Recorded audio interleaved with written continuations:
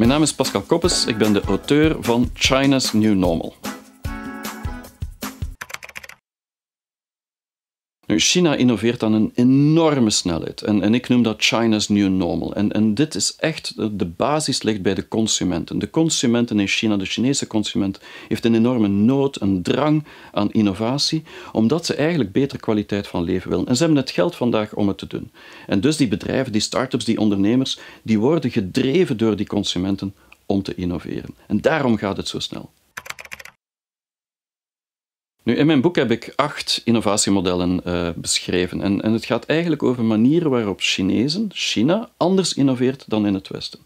En ik zal er twee aantekenen. Eén is eigenlijk het ecosysteem. De ecosystemen in China tussen Alibaba bijvoorbeeld en een start-up zijn enorm sterk, want de markt is zo complex dat je moet gaan samenwerken.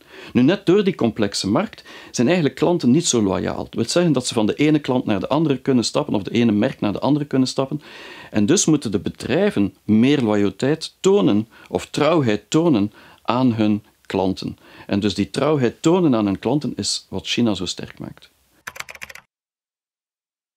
Ik heb in mijn boek China's New Normal echt wel beschreven dat China op dit moment aan het lijden is op vlak van innovatie. Ze zijn eigenlijk aan het voorlopen. En dus het is het moment dat wij nu ons gaan inspireren op China. China heeft 30 jaar van ons geleerd en wij eigenlijk nog niks van hen.